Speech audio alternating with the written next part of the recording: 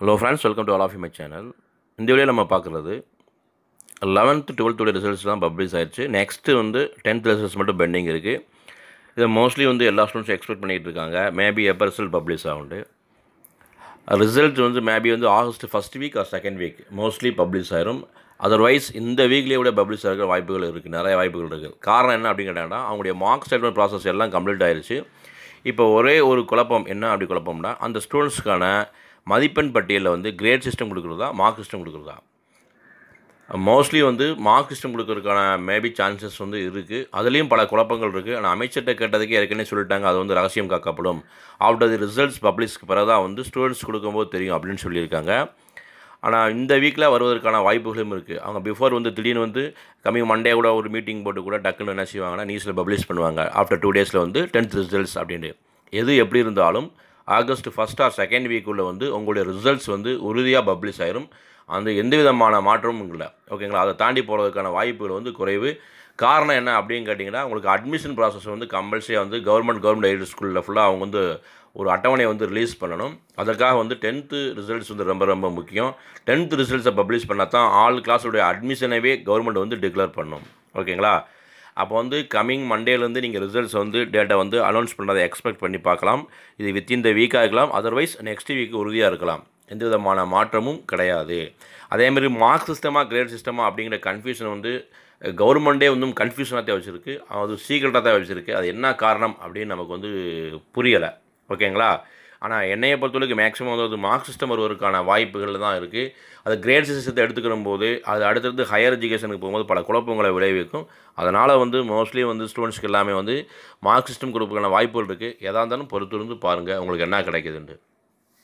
Okay then வந்து நம்ம பார்த்தா டென்த்து ஆல் பாஸா இல்லையா அப்படின்னு ஒரு குழப்பம் நிறைய பேத்துக்கு இருக்குது இது வந்து ரெகுலர் ஸ்டூடெண்ட்ஸ் எல்லாமே ஆல் பாஸாக அது தெர் இஸ் நோ டவுட்டு ஆனால் அதுலேயே ஒரு டவுட் என்ன இருக்குன்னு பார்த்தீங்கன்னா குவார்டர்லி ஆஃபர்லி ஆல் எக்ஸாம் எழுதாத அந்த ஸ்டூடெண்ட்ஸ்க்கு வந்து ஆப்ஷன் ஸ்போர்ட்ஸ் கேட்டிருக்காங்க.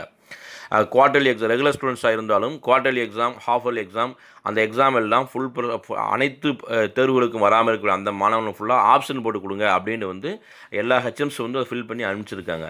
இப்போ அந்த ரெகுலர் ஸ்டூடெண்ட்ஸே வந்து குவார்டர்லி எக்ஸாமில் ஹாஃபர்லி எக்ஸாமில் வந்து ஆப்ஷன் இருந்தால் அந்த மாணவன் பாஸா அப்படிங்கிற ஒரு கேள்விக்குறியும் வந்து இருக்குது நெக்ஸ்ட்டு வந்து பார்த்தா ரொம்ப முக்கியமாக வந்து பார்த்தா ப்ரைவேட் கேண்டிடேட் எல்லாம் பாஸா அப்படின்னு ஒரு கேள்வி சுற்றிக்கிட்டே இருக்குது ஓகேங்களா ப்ரைவேட் கேண்டிடேட் பற்றி எந்த விதமான அனௌன்ஸ்மெண்ட்டும் இல்லாமல் இருக்குது அவங்க வந்து ரீ எக்ஸாம் இருக்கா? இப்போ அப்படி கன்ஃபியூஷன் இருக்குது ரீ ரீ எக்ஸாம் இருக்கா? அவங்களுக்கு வந்து திருப்பி வந்து அவங்கள ஆல் பாஸா அப்படின்னு ஒரு குழப்பத்திலேயே வந்து இருக்காங்க.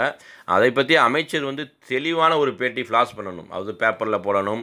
அது வந்து வந்து நியூஸ் சேனலில் வந்து அவங்களா வந்து டெக்ளேர் பண்ணால் மட்டும்தான் அது உறுதியாக சொல்ல முடியும்.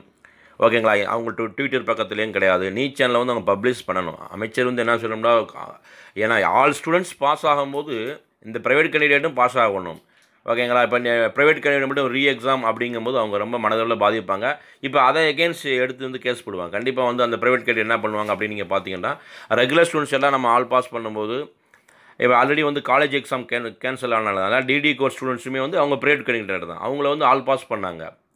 இந்த செமஸ்டரில் அதே மாதிரி வந்து ரெகுலர் ஸ்டூடெண்ட் டென்த்துக்கு வந்து ஆல் பாஸ் பண்ணும்போது இப்போ ப்ரைவேட் கேண்டிடேட்டும் ஆல் ஆல் பாஸ் பண்ணணும். அவங்க எக்ஸ்பெக்ட் பண்ணுவாங்க. காரணம் என்னென்னா அவங்கள வந்து எக்ஸாமுக்கு ரிஜிஸ்டர் பண்ணி ஹால் டிக்கெட்லாம் வந்து கெயின் பண்ணி வாங்கியிருப்பாங்க. அப்போ அதனால் என்ன செய்வாங்க? ரிசல்ட்ஸ் வந்து ரெகுலர் ஸ்டூடெண்ட்ஸ் மட்டும் ஆல் பாஸ் ப்ரைவேட் கேண்டிடேட் வந்து எக்ஸாம் ரீ எக்ஸாம் அப்படின்னு டைம் டேபிள் ரிலீஸ் பண்ணாங்கன்னா அவங்க எகென்ஸ்ட் எடுத்து கேஸ் போடுவாங்க.